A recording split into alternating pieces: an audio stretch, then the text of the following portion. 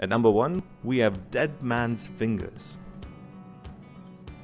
A common inhabitant of the forest and woodland areas, they're usually growing from the bases of rotting or injured tree stumps. It is characterized by its elongated upright stromata poking up through the ground much like fingers. Number 2. Devil's Tooth Hydnellum peckii goes by many common names including bleeding tooth fungus, strawberries and cream, red juice tooth, and devil's tooth. All refer to the shockingly bloody appearance of the fungus from the top of the cap where there is a vivid red fluid that is extruded. Number 3. Stinkhorn Phallus impudicus is a Latin name meaning shameless penis. The stinkhorn is another perfect name for it.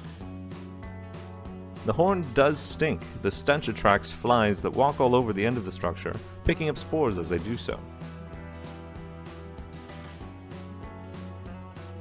Number 4. Devil's Fingers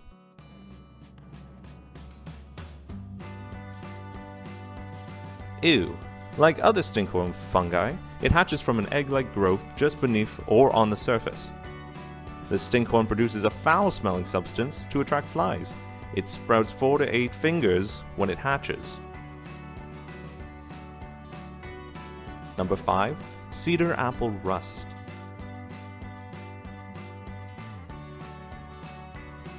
Cedar apple rust is a fungus with a complex life cycle, none of it particularly pretty. The fungus lives on apples and juniper trees, but it cannot survive entirely on either of them.